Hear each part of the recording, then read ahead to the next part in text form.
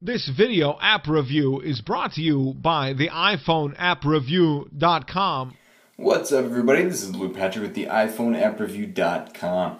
Today we are slinging out yet another video review, this time taking a look at an application called School Notes that is on my springboard right there, ready to go. This application is available for $2.99 in the App Store, which is a tremendous value for what it is that you're actually going to be obtaining. And if you are curious, this application is designed for uh, college students, high school students, probably more college students. Um, or really, I guess you could use it in a business setting as well, but mostly towards students is uh, the, the demographic that this application is aimed at, and for very good reason. So here we have the main sort of menu from which all things stem, and I've just kind of created this fake student profile called Steve. Um, but the, the basic principle that goes on here is essentially uh, you're going to be taking notes in class, but at the same time, you're also going to be doing a load of other things too, um, in addition to just taking simple notes. So uh, here in the video review, we have the chance to actually show you um, a few more of the items uh, that we got to discuss in the written review. So that's kind of the point behind this more in-depth review. But uh, here's the basics. So let's go ahead and go. Uh, yeah, obviously let's just start with the notes. So I have a basic timestamp that says when this was. Um, and if I want to, I can simply put in a simple objective. So let's say uh, test for subject. If you want to put an objective, uh, you know, learn whatever, you could do that too. Um, and then from here, uh, basically things expand. You can do a note screen, um, which is a very basic sort of notes. Of course, you can type in whatever that you want.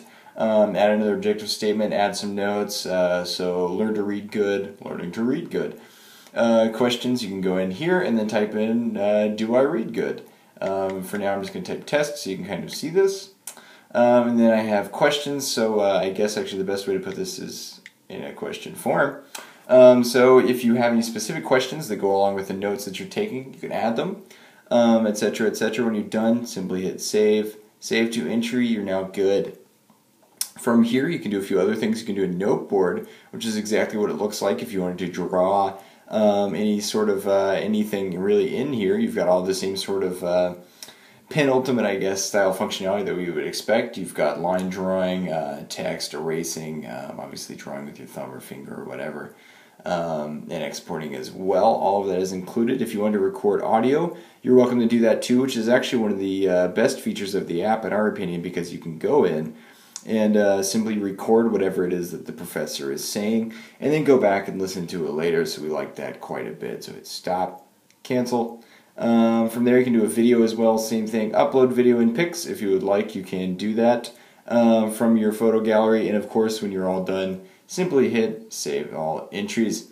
You are now good to go, which is actually quite nice. From here, uh, you've got a few other things that you can do. You can enter a quick reminder if you would like to say. Um, well, basically anything. Um, of course, you can go in and uh, view your notes via this tab.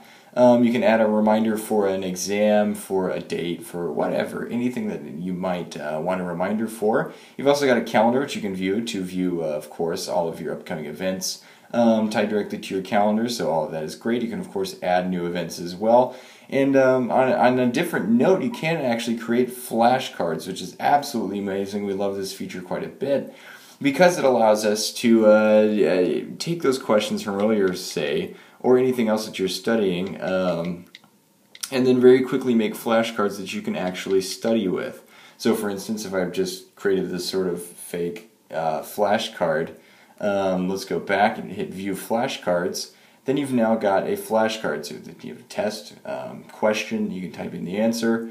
Uh, of course, all of that is here. Well, not typing in, excuse me, but um, that is, you know, just a, it's a brilliant way to study to begin with, and the fact that it's included is very, very handy alongside everything else that's going on. And as if that weren't enough, you've also, got math charts, science charts, and periodic tables, just references to use um, in class or with your studying, whatever, etc., um, etc. Et just uh, essentially to give a final wrap up on this it's a uh, just a mountain of features that are tied to this the, the, central premise which is taking notes and learning Obviously, the application makes it extremely easy to do basically anything that you would want to do in class, which is the real boon behind the app.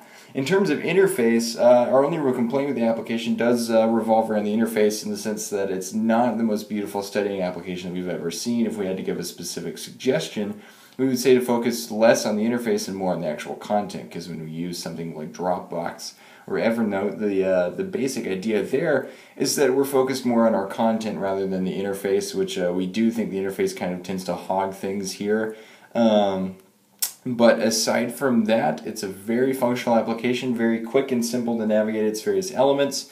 And of course, the price is uh, spot on too at $2.99. So, with all of that in mind, what do we give School Notes? At the end of the day, we give it a 4 out of 5 star rating from us here at the iPhoneAppReview.com. We think it's a great new app. And if you're in need of such a thing as a college student, there's no better way to go.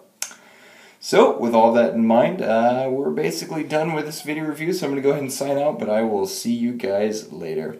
Bye.